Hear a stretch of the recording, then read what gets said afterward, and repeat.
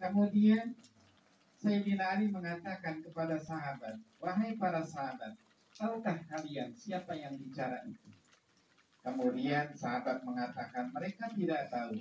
Kemudian kata Ali bin Abi Thalib dia mengatakan itulah Nabi Khidir alaihissalam sedang bertakziah kepada Rasulullah Shallallahu Alaihi Wasallam.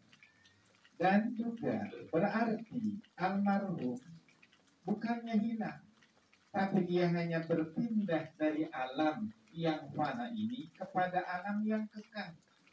Nikmatan mana kira-kira alam barzah dengan alam dunia? Ini mah kira-kira kan belum ngalamin. Kira-kira ini. Ya.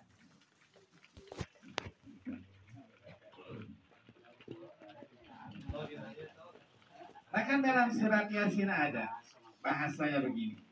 Qala ya laita qaumi ya'lamun bima ghafara li rabbi wa ja'alani minal mukramin. Apa artinya? Auna.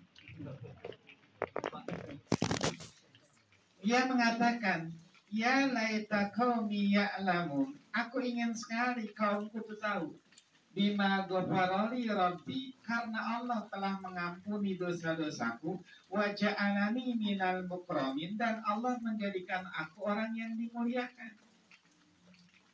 Di dunia serba susah serba sempit serba banyak urusan begitu masuk ke dalam akhirat bagi orang mukmin itulah namanya istirahat. Nah almarhum istirahat. Dia tidak hilang hanya berpindah saja innama huliktum lil abad. Wa innama tunqaluna min darin ila. Dan kalian itu diciptakan kekal. Kita ini kekal. Kita dipindahin dari satu alam ke alam lain. Pertama kita ada di mana? Pertama sebelumnya alam ruh namanya. Alam alam ruh pertama. Di sana pada kenal nggak Kemudian dari alam ruh ke mana kita? Masuk alam rahim. Dari alam rahim kemudian pindah lagi ke alam dun dunia. Dari alam dunia ke mana lagi? Alam bar barzah. Dari alam barzah ke mana lagi? Ke alam akhir akhirat tuh.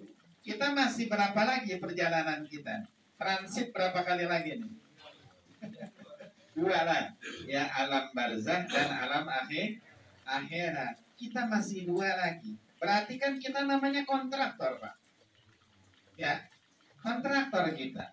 Ya kontraktor ini memang tukang kontrak ya bolak balik pindah-pindah namanya. Nah oleh sebab itulah maka kehidupan dunia itu bagi orang yang sudah berangkat menuju Allah dalam keadaan beriman adalah sesuatu yang menyenangkan. Mungkin bahasa sederhananya begini, ayo sini enak benar di sini gitu. Ayo di sini ini maka kagak gerak, AC-nya ada, tamannya lega gitu. Ngomongnya dia bahasa tadi dalam surat Yasin Cuman karena kita memang tidak tidak tahu Makanya bahasanya ya laita qaumi ya'lamun ingin sekali kaum itu tahu kalimat laita Pak dalam bahasa Arab adalah Allah ada laita. Kalau kalimat la Allah sesuatu yang mungkin saja terjadi. La'allakum tattakun. La'allakum turhamun. Bisa saja terjadi.